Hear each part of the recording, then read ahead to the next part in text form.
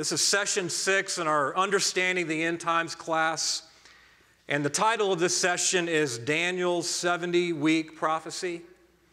Session six, Daniel's 70 Week Prophecy. And I want to encourage you to turn in your Bibles to Matthew chapter 24, verse 15. I'm going to, I'm going to start by reading that scripture. Matthew 24, verse 15.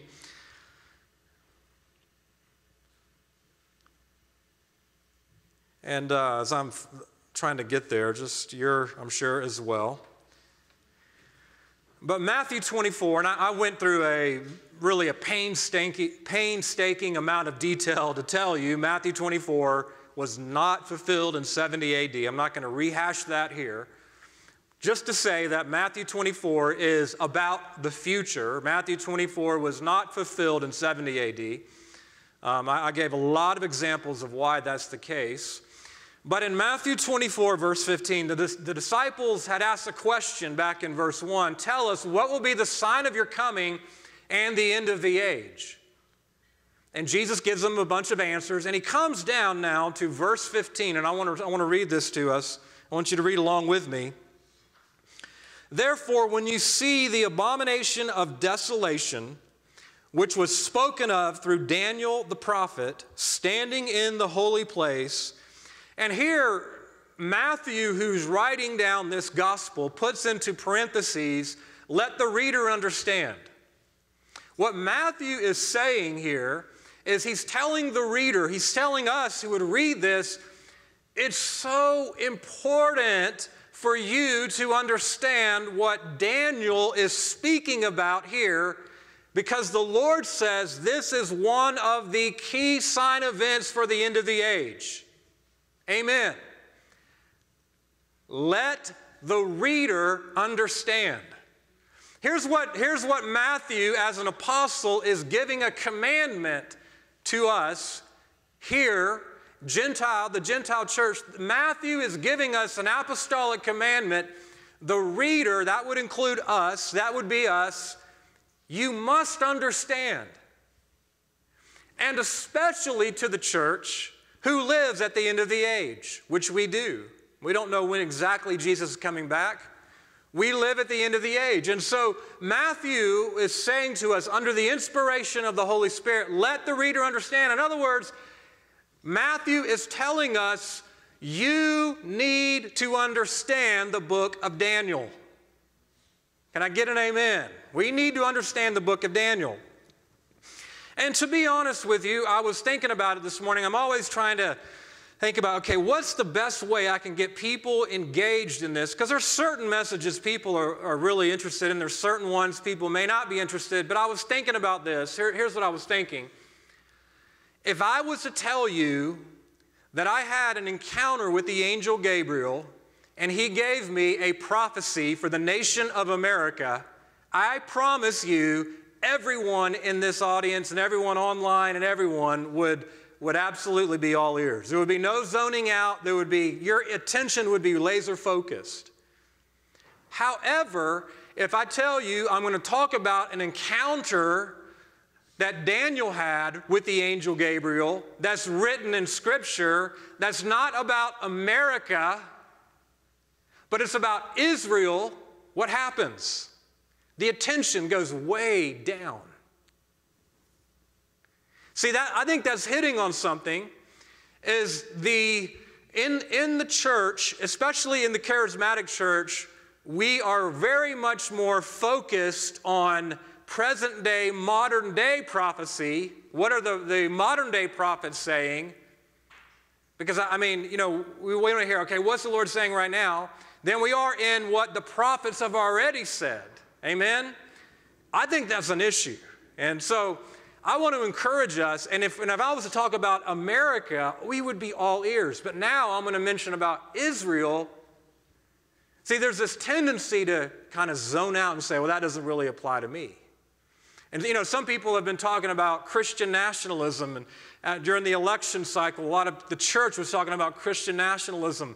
There were some things I, I thought people were saying that were right and some things I didn't agree with. But the, the idea of Christian nationalism is the idea that you put your nation at the center of the kingdom of God. For like we, us living in America, we think everything in the kingdom of God revolves around America. And so anything that would come out into a different nation or whatever, you know, Israel, for example, or another nation, we might not have that same level of interest, right?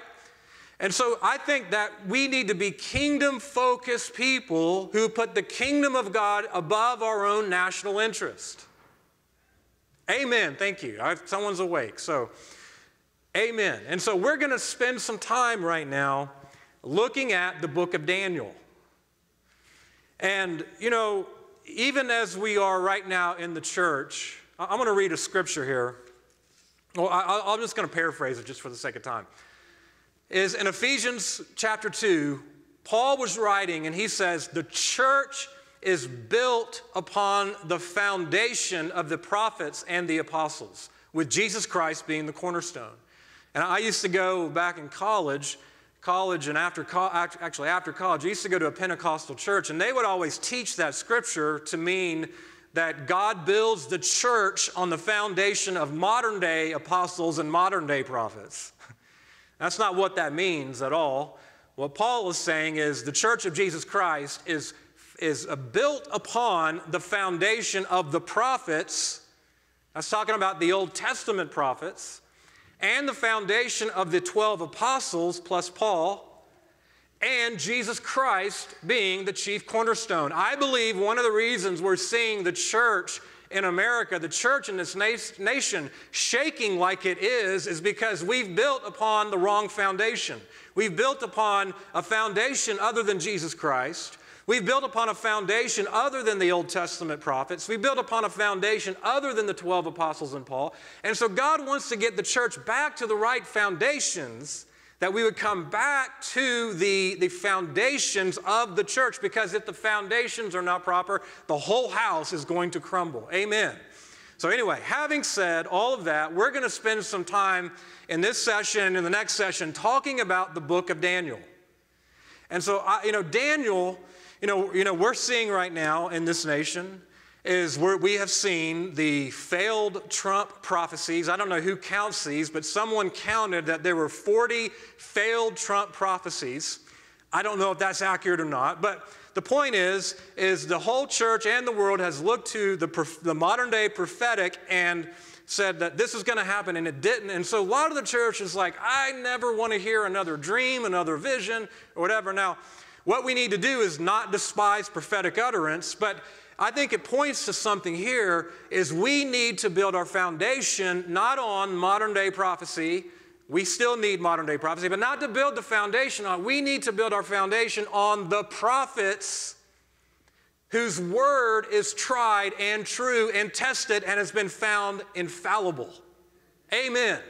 And so Daniel, Daniel, this, this is what's so powerful. Daniel was so stunningly, got it, stunningly accurate in his, prophet, in his prophesying that he wrote, he wrote these prophecies in 537 BC, and modern day critics were like, he's so accurate.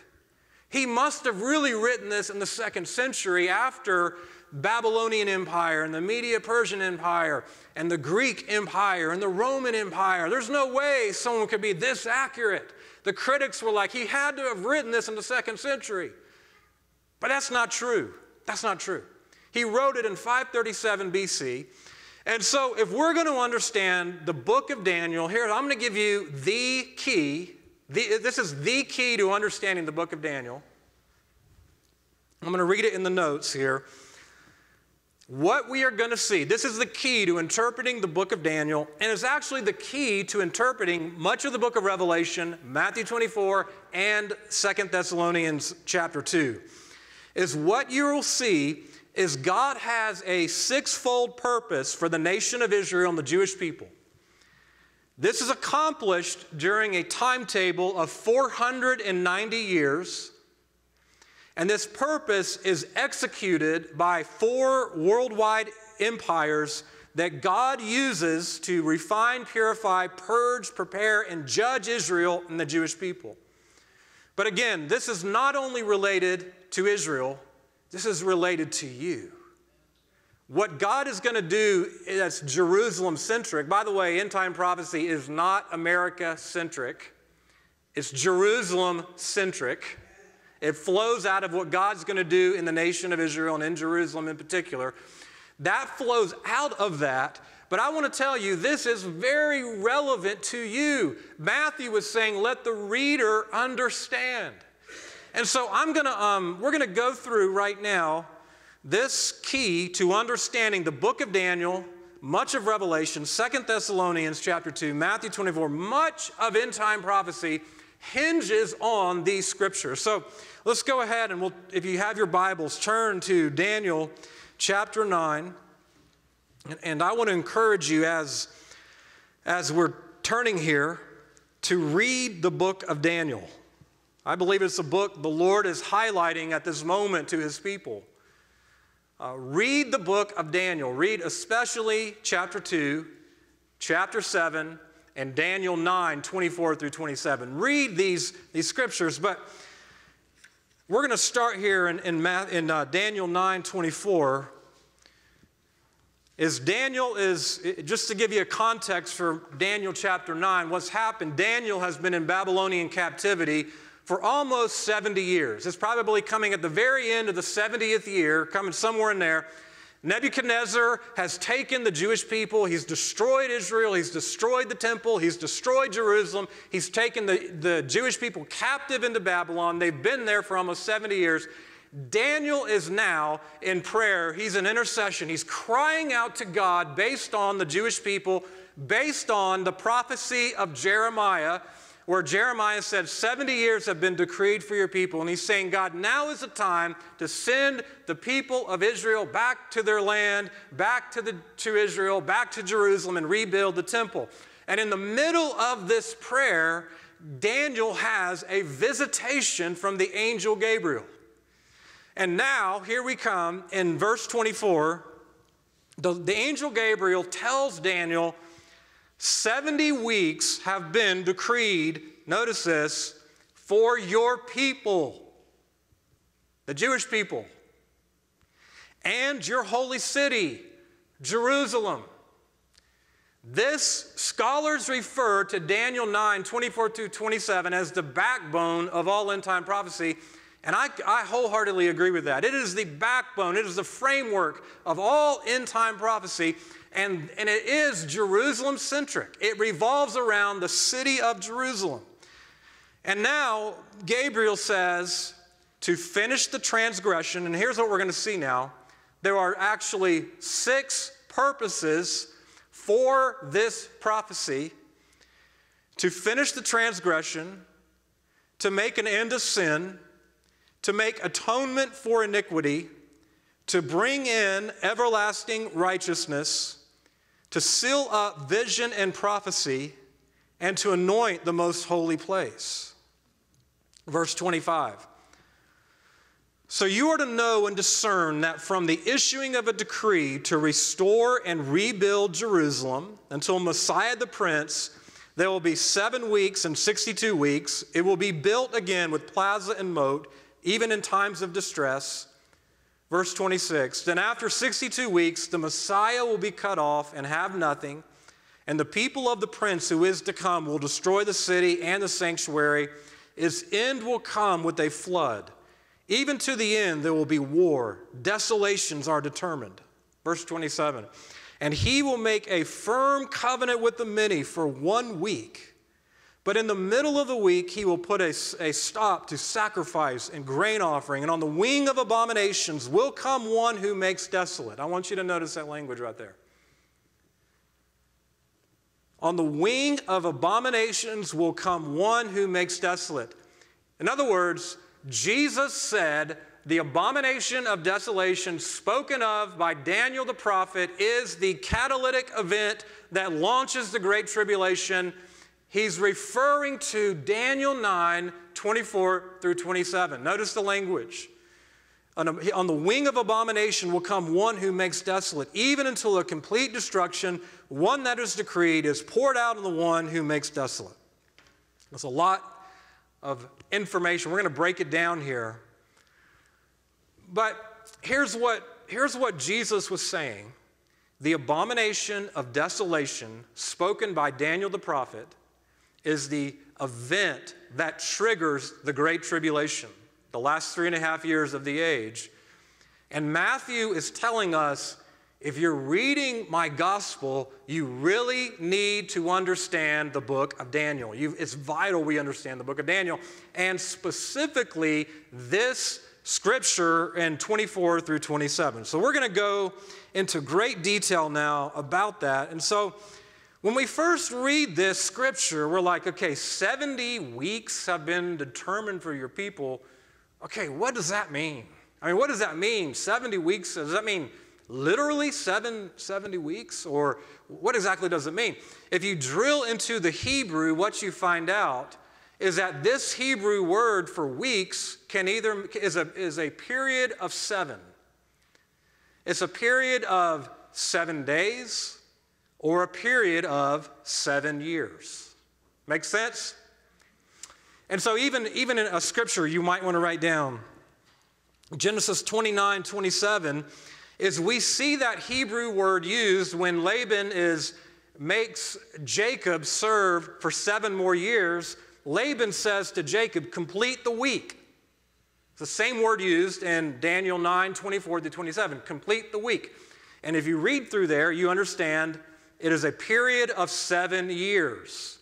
And so I'll just make the long story short. Most scholars who read Daniel 9, 24 to 27 understand this period of weeks, 70 weeks, are actually 70 periods of seven years. Make sense? 70 periods of seven years, 490 years. Here's an interesting fact for you. When Peter came up to Jesus and he said, Lord, how often should we forgive our brother? And the Lord said, You should forgive him up to 70 times seven. He's actually referring to this prophecy. He's actually saying Daniel's 70 weeks are a time of great grace and mercy for the Jewish people. Now, that doesn't mean we, we should always forgive, for sure, but Jesus was making explicit reference to Daniel's prophecy. That's pretty interesting, isn't it? So, Daniel says 70 seven year periods are decreed for your people. Okay, why did God pick 70? Why did God pick 70? Well, to us Gentiles who are reading this, we're like, okay, 70. What is the, what's the significance of 70? Well, in the law, in the Torah, the Shemitah year, the, the Shemitah sabbatical year was the time when Israel would, would say, We're going to take an entire year off from our land. We're going to let it go dormant. We're going to allow it not to produce fruit. We're going to allow it to, to grow over, and we're just going to give it the land rest. And so what happened was the Jewish people, most likely, there's a couple scriptures in the notes, most likely the Jewish people for 70 they missed over you know 70 or 70 more 70 plus Sabbath years, and now the Lord was saying, because you've missed those 70 Sabbath years, I'm going to I'm going to give you 70 years of captivity in Babylon, and I'm going to take that, I'm going to take that, and I'm going to use 70 times 7, which is the Sabbath year. I'm going to use that to bring 490 years that I'm going to do a divine work in Israel. Yeah, I saw a little puzzled look. Makes sense so far? 490 years. So we can summarize it like this is we can say the angel Gabriel told Daniel 490 years have been decreed for the nation of Israel and for the city of Jerusalem to accomplish a sixfold purpose. So I'm just going to quickly go through that purpose. It's um, in, Math, in Daniel 9:24 to finish the transgression and make an end of sin. What, what the Lord is saying this is I'm going to use these 490 years in the nation of Israel to bring the, the rebellion of the Jewish people and the nation of Israel. I'm going to bring it to an end. I'm going to bring their rebellion. I'm going to bring their iniquity. I'm going to bring their sin to a complete end over this time period. And then, you know, it, it, I, I quoted the scripture, but in Isaiah 4 4, it talks about God is going to release into the nation of Israel the spirit of, ju- the spirit of judgment and the spirit of burning to purify Israel. And we'll see it at the end of the age when Jacob's trouble comes to that to the nation of Israel. God is going to bring uh, fire and judgment to the nation of Israel to purify them of sin. The next thing we see is to make atonement for iniquity. Uh, there's no doubt about what that means. That means the atoning work of Jesus Christ on the cross.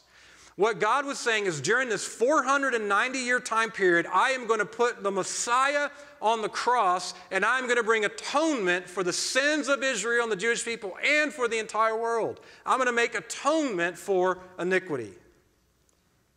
The next part is to bring in everlasting righteousness. See, part of this divine working of God is so that ultimately God's righteousness would come to Jerusalem. And there's, there's several scriptures in the notes I list, but we, you know, it says, I have appointed watchmen on the wall. Day and night, they're going to keep crying out to make Jerusalem a praise in the earth. Her righteousness is going to go forth like brightness into the nations. God is going to move at the end of the age uh, around the world, but especially from the nation of Israel as the epicenter of all that God does to bring in everlasting righteousness to that city.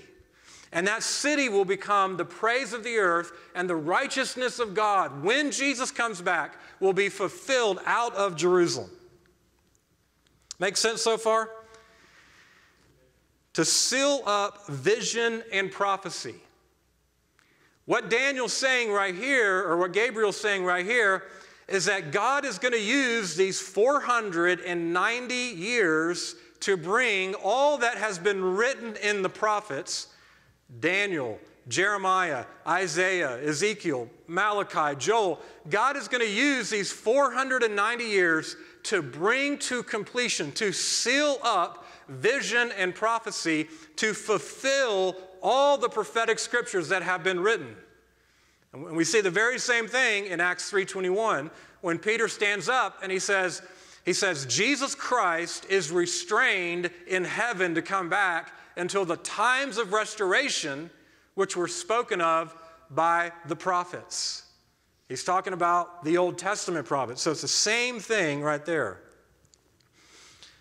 The, the final thing here is to anoint the most holy place. And that's going to talk, I'm not going to go into a lot of detail here, it's in the notes, but that's talking about the millennial temple that Jesus will rule and reign from, that his glory will go out into the nations. So the question is when exactly did Daniel's 70 week prophecy or to say it another way, when exactly did this, did this, divine timetable of 490 years, when did it begin? That's a, that's a big, important question. And I want to show you this. When we go through this, you're going to see a stunning, I said it again, I do say it a lot. You're going to see a stunning revelation that this prophecy not only predicts the Messiah's coming, but this prophecy actually tells us the exact time when he would appear on earth. This should become part of our evangelistic strategy when we're telling unbelievers that Jesus is the Messiah. There, it was actually written 500 plus years in advance when the Messiah would come on the earth, when he would die. It tells us exactly when that would happen. America hasn't even been a nation. We've only been a nation for 244 years. 500 plus years, Daniel is told the exact timing when that will happen. And this prophecy tells us when. I'm going to go through, through it here in a minute. You still with me? Processing? You there? You seem awfully quiet today. Raise your hand, just let me feel better. All right, you haven't zoned out. Okay, here's what Gabriel tells Daniel. He says, You are to know and discern that from the issuing of a decree, this is verse 25, the issuing of a decree to restore and rebuild Jerusalem until Messiah the Prince, there will be seven weeks and 62 weeks. It will be built again, even with plaza and moat, even in times of distress. So, what we know here, this, I'm just going to make it real simple.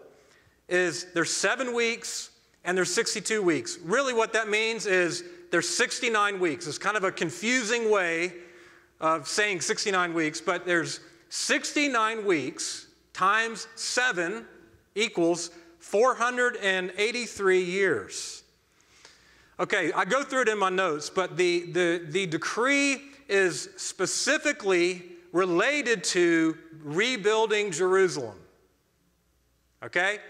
It's not about rebuilding the temple. There's a decree given by Cyrus to rebuild the temple, but there's, there's a, a decree given in 440 BC, 444 BC by Artaxerxes that is a decree to rebuild the, the city of Jerusalem. And so it's that decree, 440 B, 444 BC, when the prophecy of Daniel begins to tick down. That's when this prophecy begins. And so if you're looking here on our chart here, there, there should be a chart. Hopefully you can read it. If you can't, there's notes in here.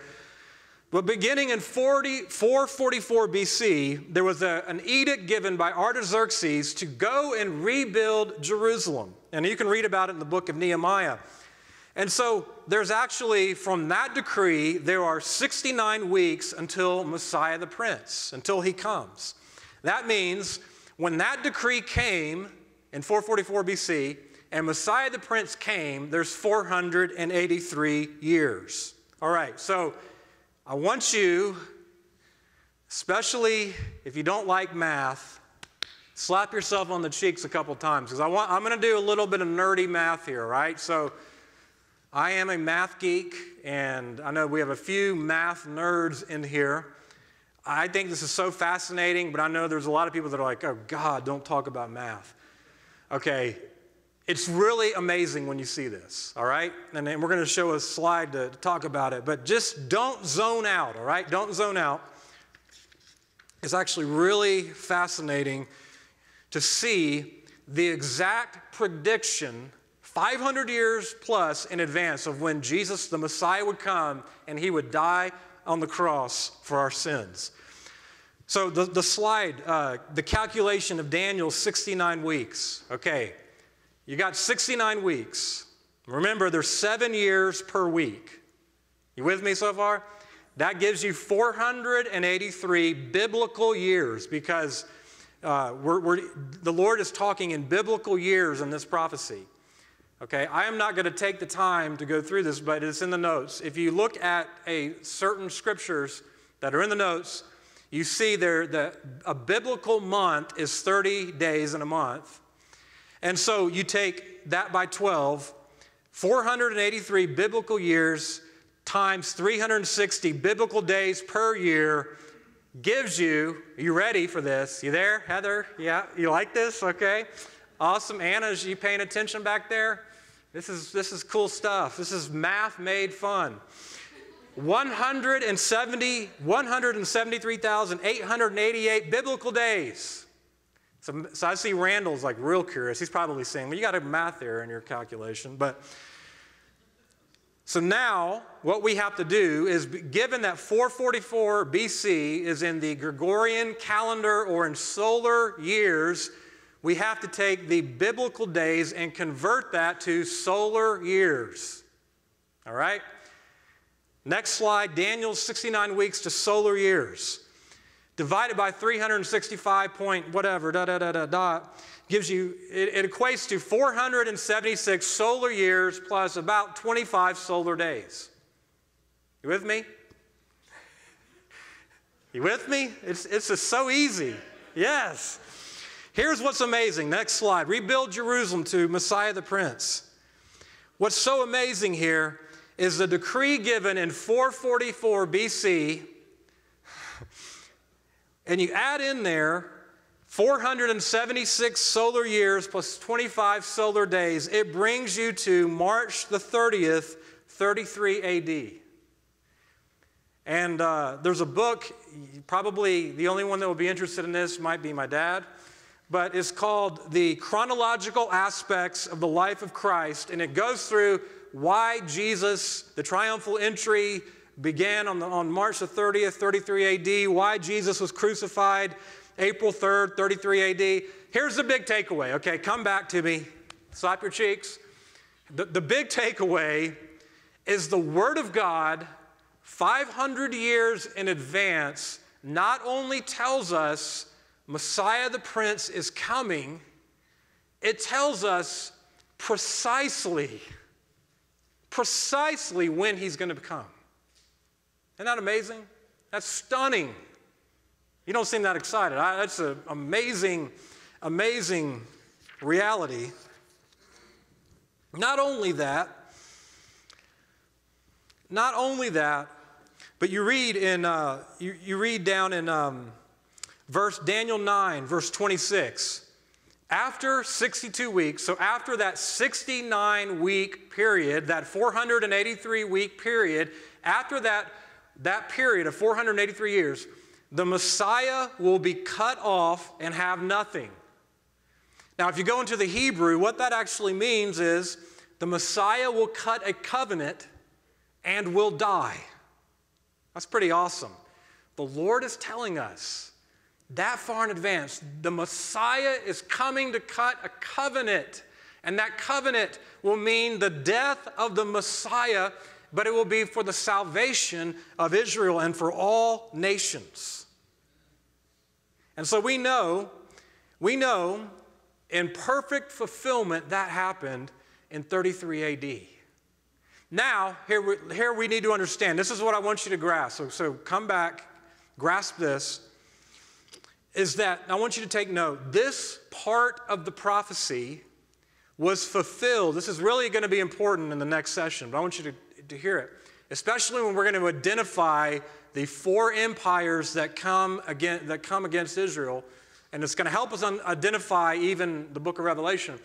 Is these um, this part of the prophecy takes place when the Jews lived in Israel, when the, they occupied the city of Jerusalem, and they were performing sacrifices in the temple. That's real key that we'll need to understand when we go through okay, who exactly are these four empires and how will they be? This is going to be fulfilled in our day. I, in fact, I believe we're beginning to see the, the last empire being raised up right now, even as we speak. So, but in, when it comes to interpreting Bible prophecy, that is very important because it's, it's, that's the key to interpretation. It's, it's these, these things had to take place when the Jews were in Israel, they occupied Jerusalem, and they were performing temp- temple sacrifices. Now, what do we know right now? We know, and actually, I'll get to that in a minute. So now let's go back down. You with me still? Okay. Not zoning out? Okay. Daniel 9, verse 26. It talks of this is the this is Daniel's last week. It's seven year period. Or, or actually, let me take that back. That, that's not it. I haven't read that yet. That's in verse 27. Verse 26 The people of the prince who is to come will destroy the city and the sanctuary that's talking about the Roman army under General Titus that came into Israel in 70 AD and destroyed the temple, drove the Jews out of the land for over 1,800 years. And its end will come with a flood. Even to the end, there will be war. Desolations are determined. And so we know in, in history from 66 AD to 135 AD the, uh, the Roman army came and invaded the land of Israel and conquered the city of Jerusalem and drove, drove the Jewish people out of Israel for over 1,800 years. Now, in the, in the next verse, turn there to uh, Daniel 9 27, is, is Daniel or Gabriel gives this, this, the explanation of Daniel's 70th week or Daniel's last week, the last period of seven years. And he says, and he, that refers back, I believe, to the prince who is to come, and he will make a firm covenant with the many for one week. But in the middle of the week, he will put a stop to sacrifice and grain offering, and on the wing of abominations will come one who makes desolate, even until the complete destruction, one that is decreed, is poured out on the one who makes desolate. So the question we have now is who does he refer to? Because if you pick up a lot of commentaries or even books that will talk about this, people say he is referring to Jesus Christ. They're saying the covenant he's going to make with many is Jesus Christ. It's the new covenant he made. And he's, he's going to put a stop to sacrifice and grain offering. Well, we see that in the book of Hebrews. You know, the temple sacrifices have come to an end. And so a lot of people claim the He in verse 27 is actually Jesus Christ. And I find that that view is becoming a lot more popular today. But the problem with that, there's, there's several problems with that view and that interpretation. The first problem is that, that um, the first problem is if the weeks are years, then that would mean that covenant was only valid for seven years. So that's obviously not true. Some get around that and they go, well, you know, it could mean, it could symbolize eternal completion or it can symbolize that, you know, it's been completed. But you don't really have the luxury to change the meaning that, that is clearly revealed in the first part to what it means right now. You don't have the luxury to change that. And so, anyway, so I, I, don't think at all that's what that's referring to. I think clearly what it's referring to, the people of the prince to come, verse 26, is talking about the Roman army coming in to destroy the temple in 70 AD, the people of the prince to come, the he is that prince to come, it's the Antichrist. And so, what we're seeing here, verse 27, the last seven years of Daniel's 70 week prophecy is a seven year period that begins when the Antichrist comes and signs a covenant with the nation of Israel, most likely the Arab world, and says, We're going to give peace in, in Israel. We're going to give peace to Jerusalem, and we're going to allow the Jewish people to build and rebuild their. actually, I think the temple will already be rebuilt by this time. We're going to sign a covenant that allows the Jewish people to uh, engage again in Levitical sacrifices. And I, I believe we're going to see that. You think about what's already happened. The nation of Israel restored in 1948 after 1,800 years of desolation. The Jewish people capturing Jerusalem in 1967. Making this prophecy, remember what I said, this prophecy can, is related to the Jewish people living in the land, occupying Jerusalem, and what's the last thing that's left? Performing temple sacrifices. So when the Antichrist comes, and signs this peace accord with Israel and the, and the Jewish people in the Arab world, it's going to enable it's going to enable the sacrifices to begin to resume. That is going to mean the 490 year prophecy is going to begin to tick again. Right now, it has been paused for over 1800 years because Israel was not a nation. But we're moving, that's where I want us to get at. We are moving so quickly, so rapidly to the time when this prophecy is being fulfilled, even right before our eyes. Okay, so now let's go to the book of Revelation. I want you to, to see this prophecy. This prophecy is related to many different verses in the book of Revelation. It's interesting that if you want to understand, if you really want to understand the book of Revelation, you cannot understand the book of Revelation unless you understand the book of Daniel. In fact, you can't understand the book of Revelation unless you understand the Old Testament prophets Isaiah, Joel, uh, Ezekiel, especially. So much of what the Old Testament prophets uh, spoke about is carried into the book of Revelation. And so, you know, even when you come when you come to Matthew chapter 13 or Revelation chapter 13, Revelation 17 and 18, that is basically carrying in what, Dan, what has been revealed to Daniel in Daniel 2 and Daniel 7. And so the point is, if we want to understand the book of Revelation, we've got to understand the book of Daniel. So, again, I encourage you, read the book of Daniel. Use these notes to kind of help you make sense of some of it, but read that book. Okay, so Revelation chapter 11, I'm going to just read some of these, some of these things just to give you an idea.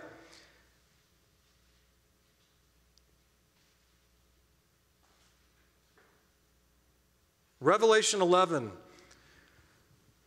verse 3 is I, am going to, I'm going to grant authority to my two witnesses, and they will prophesy for 1,260 days clothed in sackcloth. That 1,260 days is three and a half years. It's the middle part of Daniel's last week. So this is not just a random number that comes up that, why did God pick 1,260 years? Well, it's going back to the prophecy in Daniel.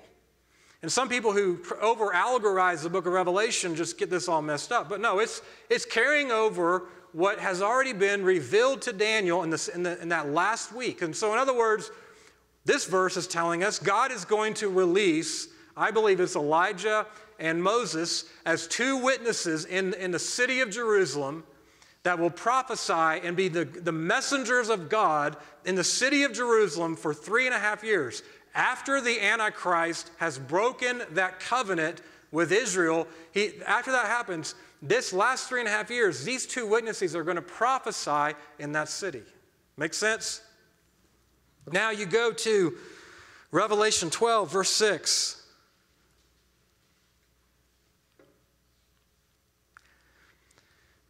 And this is going to be very important when we get into the man child and talking about the man child and understanding the man child. In Revelation 12, verse 6, it says, and we're going to, I'm not going to even talk about who the woman is. You might have questions. We'll get into that later.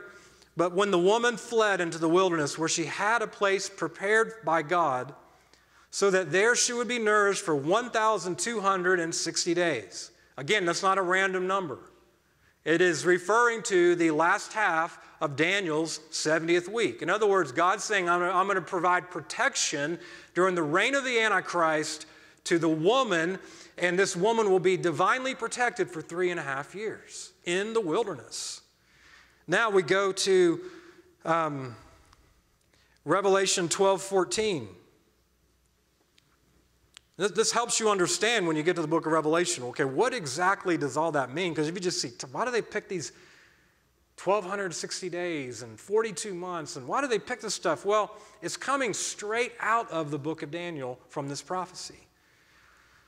But the two wings of the great eagle were given to the woman that she could fly into the wilderness to her place. That's really a rehashing of verse 6, where she was nourished for a time, times, and half a time from the presence of the serpent. That's actually, again, a direct quote from Daniel chapter 7. Times, time, or what is it? Uh, time, times, and half a time. That is the same thing as three and a half years. That's what the Lord is speaking. It's time, times, one year, times two years, half a time, half a year. So it's the same, same thing repeated in this, in this kind of a different way.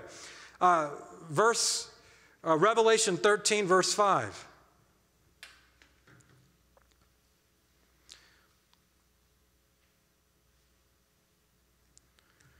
Talking about the Antichrist.